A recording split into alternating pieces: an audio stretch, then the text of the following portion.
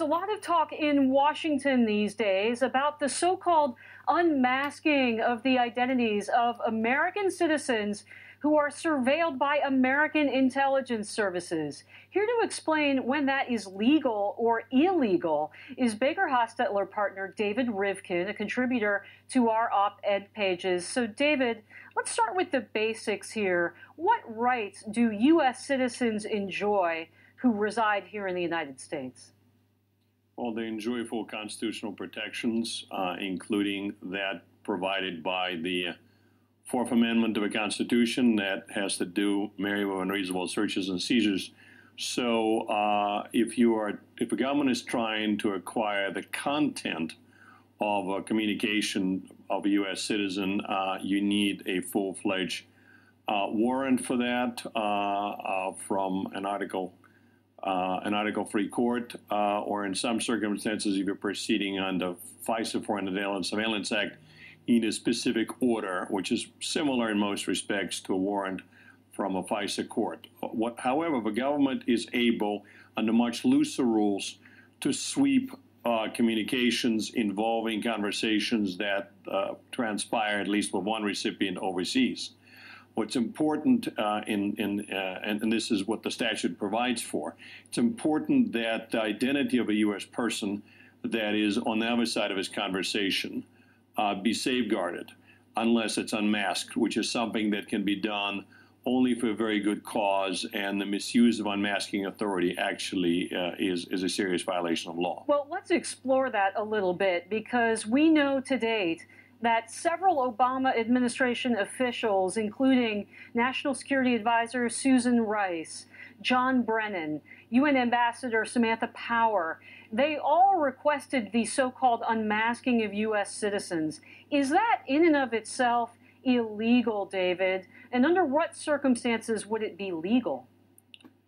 Uh, uh, good, good question. Uh, the statute indicates that the only circumstances in which unmasking can occur, and again, for purposes of your of your viewers, unmasking is telling the recipient of the information about the substance of that conversation, precisely what you said, and your identity, because typically uh, most recipients of an intercepted communication don't even get to see the, the the full flavor of, of it. It's only appropriate if it is, quote, necessary to discern the full intelligence or counterintelligence significance of intercepted conversation. Leaving anything else aside, the notion that the National Security Advisor or the UN ambassador are in the business of performing their own intelligence analysis. So I'll put Brennan in a somewhat different category, but to me, the situation with Susan Rice and Samantha Power is per se utterly inappropriate because it does not fit in this exception. But it is not their David, job. Let's okay. Let's set this, let's set that aside for one second. Let's let's just assume, for purposes of the of the argument, that they did inappropriately ask to unmask the identity of a U.S. citizen.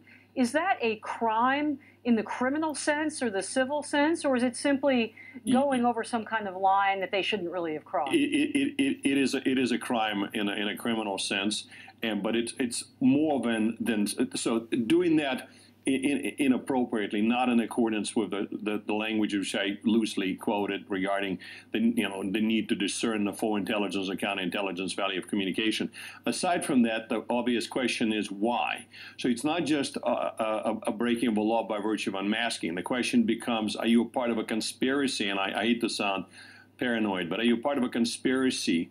Uh, of, of a number of people who, for political reason, want to hurt, harm, and embarrass uh, the president-elect and his team. And if that's the case, uh, at least apropos of a Comey hearing today, uh, that is certainly something that should be thoroughly investigated. And uh, if the facts lead this way, a lot of people are, are, going to be facing very serious and very credible threats of criminal prosecution. That's right. You're, you understand my point? I do. Yeah. You're referring to the Comey hearing. It, it, you're referring to the Comey hearing uh, this this week on Thursday, David. Um, what about the president himself? If President Obama said to Samantha Power, please go and unmask this intelligence information because it might concern, for instance, a Trump campaign official, does the president have protections because of the vast powers of his office? Uh, well, first of all, the president cannot be, uh, I think it's accepted teaching of Office of Legal Counsel and accepted by most constitutional scholars, myself included. The president is immune from any criminal prosecution while in office. President Obama, of course, is not in office. In my view, if he was involved in a conspiracy with Susan Rice, Samantha Powers, or other people to unmask for improper reasons uh, various uh, Americans, that would be a, a, a, grave offense and the one for which uh, for which he can certainly be criminally prosecuted if facts lead this way. Let me also tell you this: look, everybody is properly concerned about the Russian investigation in terms of whether Russia interfered in our elections, and I, I think it's a weighty matter. But frankly, I'm scared much more by evidence because I don't expect anything good to come out of Russia. I'm much more scared by evidence that our government possibly engaged in a conspiracy to violate constitutional rights of Americans. I think that should be tremendously concerning and, and should be thoroughly investigated. I agree with you. Final question, David. We've talked about the conduct, potential conduct of Obama administration officials, but separately, leaking this information to the media, is that a criminal act? Yes, of course, leaking classified information is a criminal act, but let me connect the dots a little tighter.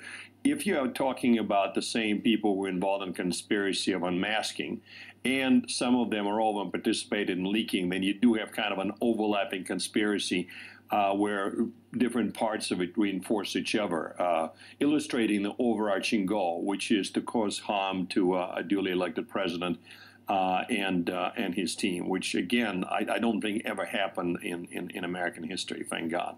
Well, thank you for sorting through all those details for us, Baker Hostetler partner David Rivkin. Thanks very much.